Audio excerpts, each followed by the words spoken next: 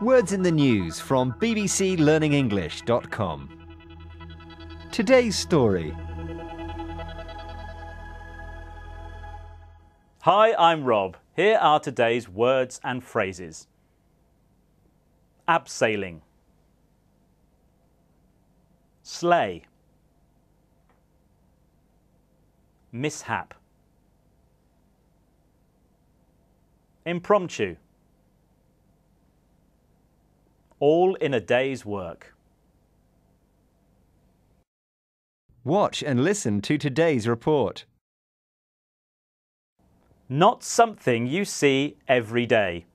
Santa abseiling down a 100 metre tall building in Berlin.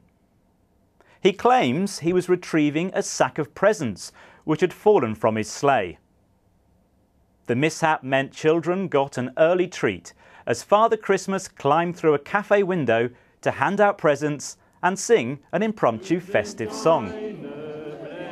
All in a day's work for Santa, who still had time to entertain crowds on the street, before heading off to prepare for Christmas Day.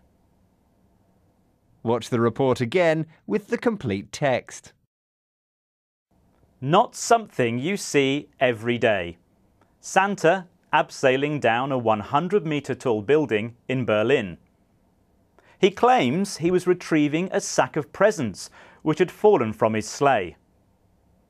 The mishap meant children got an early treat as Father Christmas climbed through a cafe window to hand out presents and sing an impromptu festive song. All in a day's work for Santa, who still had time to entertain crowds on the street, before heading off to prepare for Christmas Day.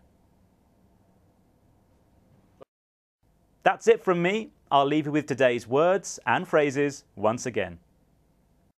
Abseiling, sleigh, mishap, impromptu, all in a day's work.